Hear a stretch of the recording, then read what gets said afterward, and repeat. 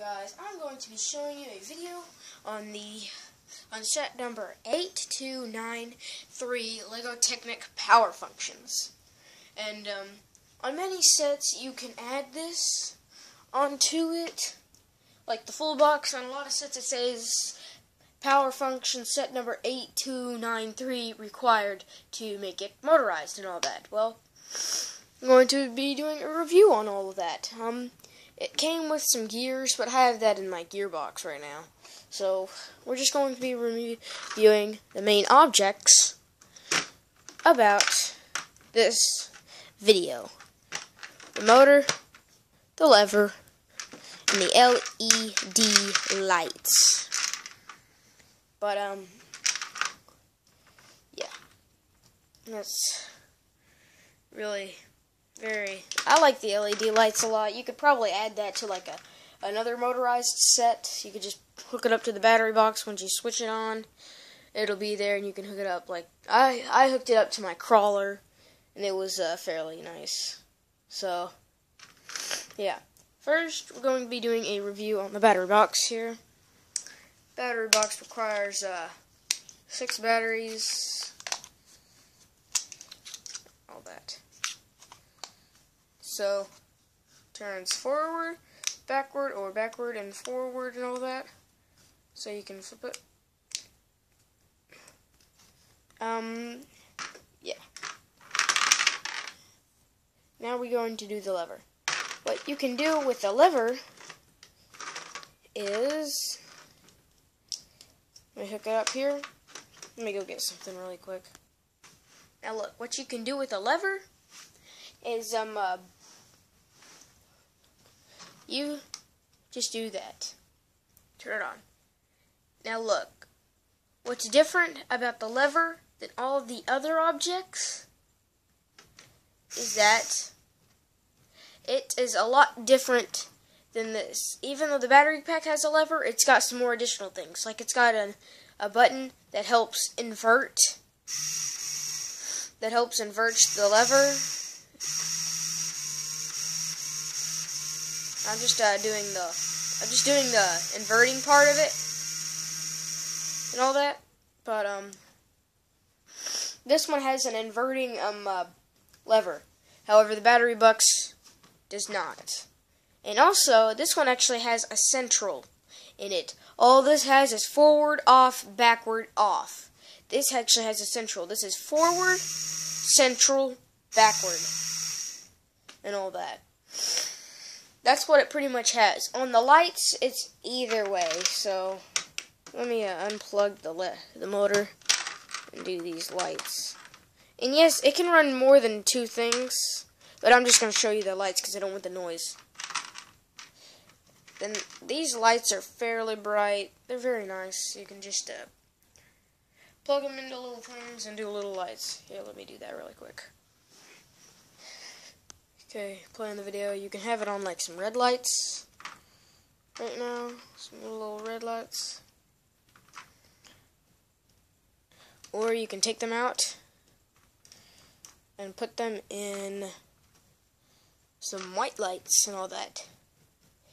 And uh, these actually are a fairly tight fit when you put them in there, so they're not going to come out that easily and all that. So. Yeah, they're not going to come on that easily and all that. Also, the lever is also made for some other things too. Like, um, you can uh, stick something in here in the top, have a big, big old little thing here going on. Forward and backward. And also, one more thing you can do is here. Let me switch this. Get something out really quick here. You can also stick this through the side. There's a little thing from there.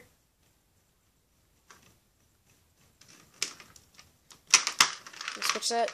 You got a hole in the side to where you could stick one of these uh, cross ax uh, axis things. Uh, one of those things. You can stick it through the side and then maneuver it from there and all that. That's what's just different about that. So the lever just has more uh, probabilities than this lever on the battery pack does.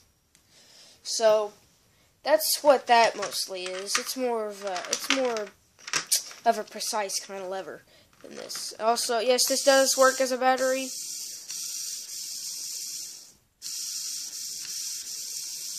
And all that. So, the lights, yes, yes, yes, they uh, still work on the battery pack lever too. So, that's pretty much it with this set, besides for those levers and all, besides for those uh, gears and all that. But uh, luckily for Christmas, I got a whole box full of them. Got a bunch that. Here, wait a second. How did this get in here? Okay, never mind. It's just something that goes to another set. Um, I got a whole box of gears and all that, so I'll be busy building things with this, like little race cars and all that that I can just activate by just a little lever switch. And also, I've got two battery packs so far, four motors. I got one M motor, two lar one medium motor, two large motors, and a servo. And then I've got a lever, receiver, and a remote with a Lego Technic crawler and all that. So I I've got a good starter. I've got a good kickstart on some Lego Technic here. So that's pretty much what I've got with today's video on uh, this power functions set and all that. Also, one more thing. It does come the little pamphlet thing object power functions on here. You can open it up. Opens up fairly large.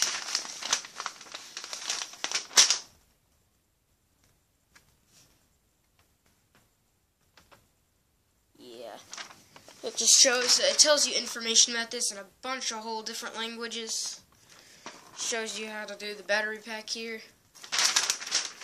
All that. It shows you different sets you can motorize all that, like that race car right there, that rad race car, and then this truck that just puts a dumpster on the back of it. I didn't really see the point in that one right there, of that little set right there, but um, it's just got a pamphlet of the different sets you can motorize. I didn't really see the point in some of these sets, but eh, got your pamphlet that's pretty much it with all this stuff. You got your lights. Probably the one I'm going to be using a lot is the lights and the battery packs to make little race cars and all that. But otherwise, I got it's a really nice set and all that. It's, the wires are a little stiff when you get them, but they'll over time they'll start to get a little curvy and all that. Nice and good. Well, I hope you guys enjoyed this video about Lego this Lego Technic set of all this stuff. And um, hope you guys join me in my next video. I will see you guys in the next video. Bye.